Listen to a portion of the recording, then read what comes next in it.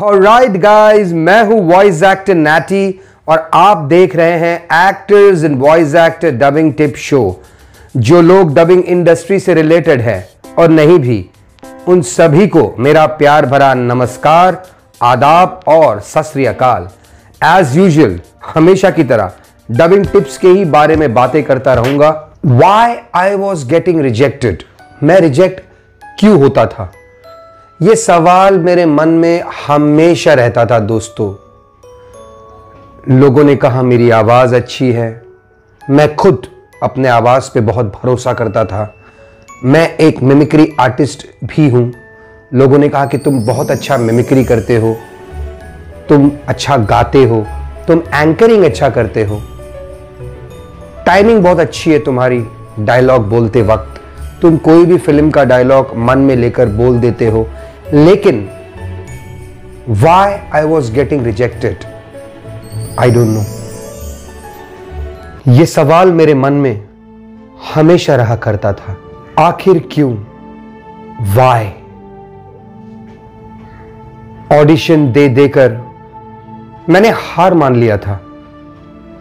मुझे समझ में ही नहीं आ रहा था कि मैं रिजेक्ट क्यों हो रहा हूँ। Why am I getting rejected all the time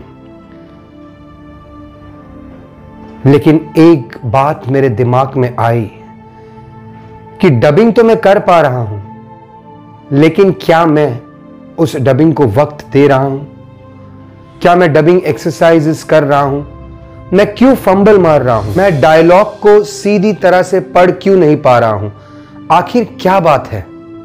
और फिर एक बार मैंने सोचा कि मैं प्रैक्टिस ही नहीं कर रहा हूँ, मैं किताबें ज़ोर ज़ोर से नहीं पढ़ रहा हूँ मैं ब्रीदिंग एक्सरसाइजेज नहीं कर रहा हूँ, मैं वो सारी वॉइस एक्सरसाइजेज नहीं कर पा रहा हूँ, जिससे मुझे पेशेंस स्टैमिना एनर्जी मिलेगी।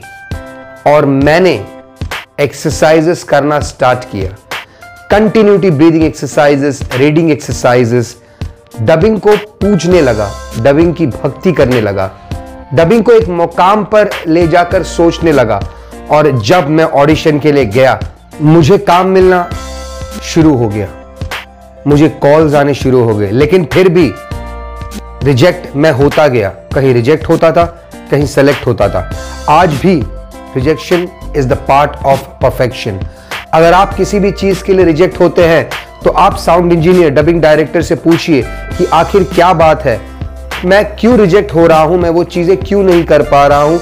मुझे वो चीज़ें कैसे करना चाहिए? तभी जाके मैं उस सिचुएशन को, उस मूवमेंट को ओवरकम कर पाऊँगा। आज भी मेरे साथ ऐसा होता है। और यकीन मानिए दोस्तों, हमेशा होता रहेगा। क्योंकि जब तक आप सीखते रहोगे, यंग रहोगे, जिस दिन आप बोलोगे कि मुझे सब कुछ आता है, उम्र बीतती रहेगी। तो दोस्तों, उम्मीद, जैसे पिछली वीडियो में मैंने कहा था, उम्मीद मत हारिए। उम्मीद से दुनिया कायम है और वॉइस इंडस्ट्री भी। गॉड ब्लेस जय हिंद